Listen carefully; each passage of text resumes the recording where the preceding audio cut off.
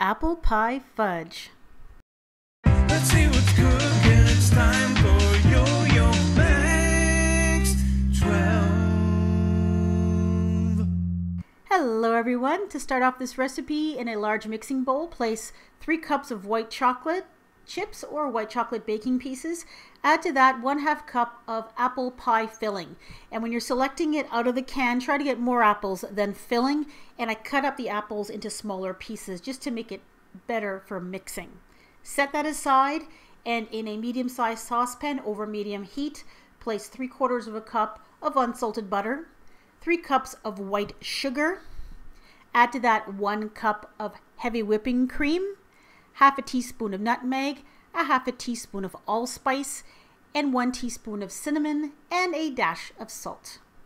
Now you're going to cook this over medium-high heat, continuously stirring until it starts to boil. Once it starts to boil, cook and stir for an additional four minutes.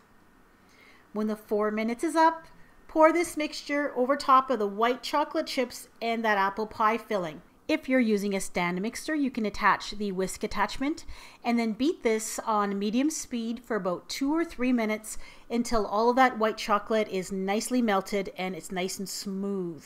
And don't forget to scrape down the sides of the bowl and to go to the bottom of the bowl to make sure all those white chocolate chips are melted.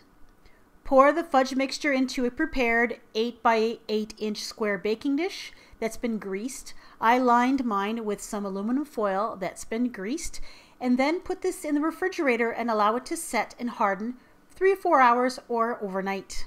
Now you can garnish these pieces of fudge using some dried apple, or in this case I'm using some cinnamon snap cookies. This fudge is delicious. It has a great apple pie flavor and it is a very unusual way of making fudge.